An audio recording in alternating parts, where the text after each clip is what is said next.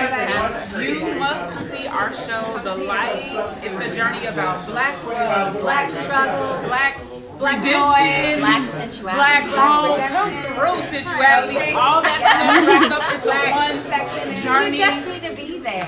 Come get your life. Come get get your, your life. at And you better run now because I think those tickets. Those tickets are going, honey. Find the light, y'all. Find the light. Find the light. Step into your light. Find the light. Step into your light.